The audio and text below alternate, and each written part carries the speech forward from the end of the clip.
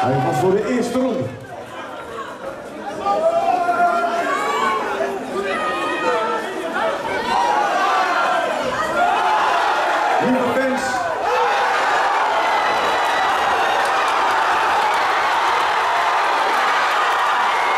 Even een verzoekje voor de.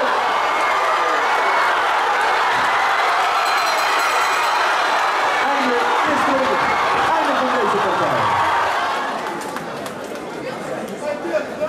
Dames en heren, nogmaals een keihard applaus voor beide vechters.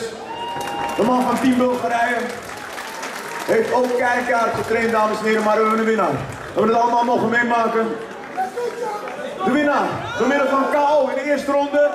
Geef hem inderdaad een applaus, dames en heren, Jusli.